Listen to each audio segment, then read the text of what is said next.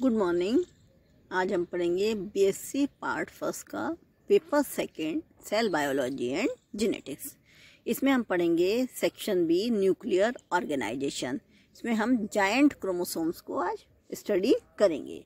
इससे पहले ही क्लासेज में हम क्रोमोसोम्स के बारे में स्टडी कर चुके हैं. आज हम देखेंगे जायंट क्रोमोसोम्स क्या होते हैं. Giant or polytene chromosome. Polytene chromosomes are also known as giant chromosome. Polytene chromosomes giant chromosomes कहलाते हैं were discovered by Balbiani in 1881 in larval salivary gland of Chironomus Chironomus larva के salivary gland में 1881 में बाल्बिनी ने polytene chromosomes को देखा, जो giant chromosome थे, इसलिए इन्होंने इनका नाम पॉलिटीन क्रोमोसोम दिया। Polytene chromosomes are specialised interphase chromosome present in certain in sex cells Polytene chromosomes जो होते हैं, ये स्पेशलाइज इंटरफेज क्रोमोसोम्स होते हैं जो कि इंसेक्ट सेल्स में प्रेजेंट होते हैं। Cells with polytene chromosome differ from mitotically dividing cells. जो पॉलिटीन क्रोमोसोम्स होते हैं, ये डिफर होते हैं माइटोटिकली डिवाइडिंग सेल्स से। These cells undergo repeated round of DNA replication without cell division. ये जो सेल्स हैं, ये रिपीटेड इनमें डीएनए रेप्लिकेशन होता है, कोई सेल डिवीज़न नहीं होता दिस इज़ कॉल्ड एंड ऑस्मोटोस ऑस्मोसिस एंडोमाइटोसिस ये एंडोमाइटोसिस कहलाता है मींस जो सेल्स होती हैं पॉलिटीन क्रोमोसोम्स की, ये माइटोटिकली डिवाइड्स होती हैं. ये इनमें वाइड्रोगल डिवीज़न होता है ये repeated round of DNA replication इनमें डीएनए रेप्लिकेशन होता रहता है। रिपीटेड राउंड होते हैं, कई बार डीएनए रेप्लिकेशन होता है, जबकि सेल डिवीज़न नहीं होता।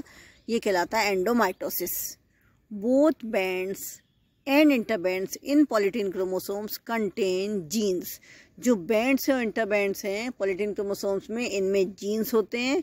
And expand to give off Balbiani rings और इनमें पफ्स होते हैं, ये पफ्स को देती हैं जो बाल्बिनी रिंग्स कहलाती हैं। पफ्स के समान स्ट्रक्चर इनसे निकलती है एक्सपेंड होती है। That is called Balbiani rings the puffs are site where R N A's being synthesised जो पफ के समान स्ट्रक्चर होती है, ये यहाँ पर साइड्स होती हैं, जहाँ आरएनए का सिंथेसिस होता है। देखिए, ये दिखाई दे रहा है क्रोमोसोमल पफ दिखाई दे रहे हैं डार्क बैंड और इंटरबैंड दिखाई दे रही हैं। यहाँ हमने जैसा कि बताया, पफ के समान स्ट्रक्चर होती है। आप देखिए both bands and interbands in polytene chromosome contain expand give off puffs Balbiani rings these puff site of R N A synthesis ये देखिए क्रोमोसोमल पफ्स दिखाई दे रहे हैं बैंड और इंटरबैंड दिखाई दे रहे हैं डार्क बैंड है और बीच में लाइट कलर के इंटरबैंड है और ये बाल्बिनी रिंग्स हैं। Lampbrush chromosomes polytene chromosomes होते हैं और लैम्प ब्रश क्रोमोसोम्स होते हैं। अब लैम्प ब्रश क्रोमोसोम्स क्या होते हैं? Lampbrush chromosomes was first observe by Flemming in 1882 in amphibian oocytes. Polytene chromosomes को बाल्बिनी ने देखा था और लैम्प ब्रश क्रोमोसोम्स को 1882 में फ्लेमिंग ने देखा था एम्फीबियन oocytes में। सबसे पहले देखा गया था।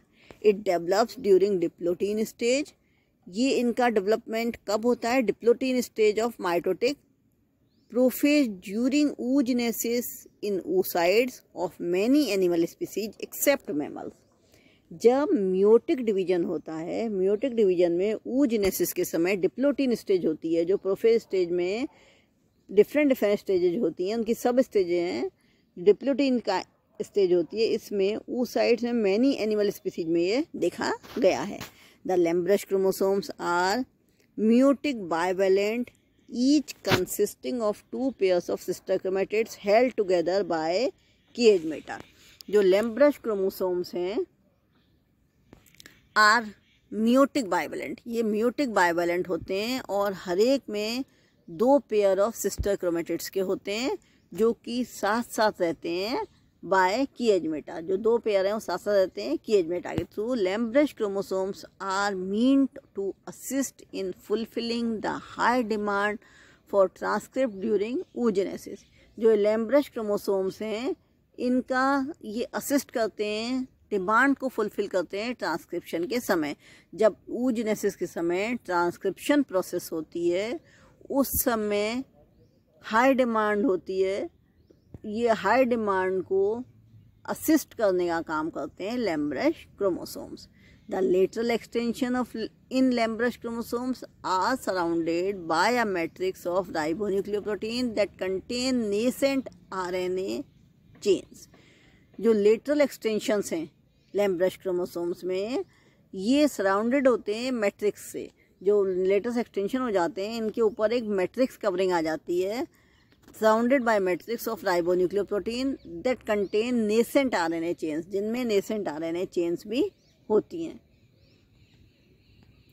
यहाँ हम लेम्ब्रश क्रोमोसोम का डायग्राम देखते हैं। देखिए डायग्राम क्लियर देखिए paired lampbrush chromosomes upper side में दिखाई दे रहे हैं। छोटे छोटे होते हैं। रीजन ऑफ़ सिंगल क्रोमोसोम ये रीजन है सिंगल क्रोमोसोम्स का।